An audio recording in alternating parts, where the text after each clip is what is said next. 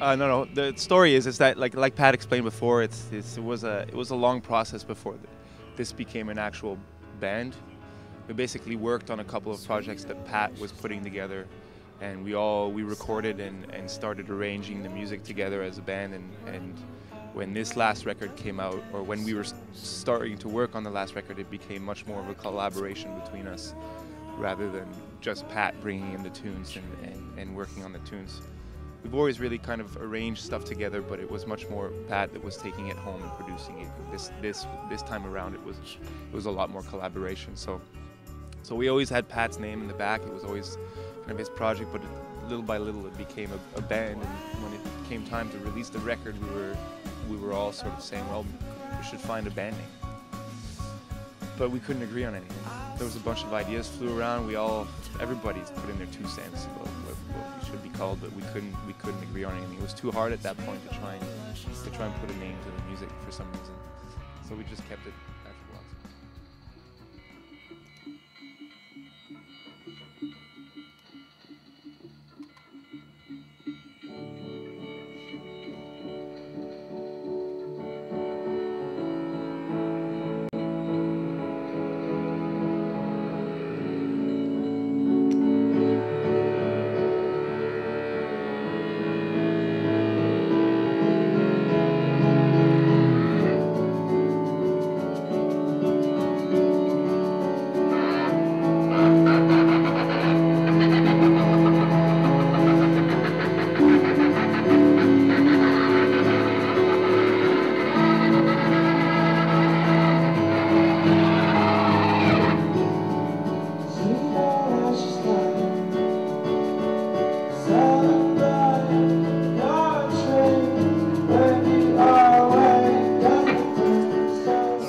story is is that like like Pat explained before, it's, it's it was a it was a long process before th- this became an actual band.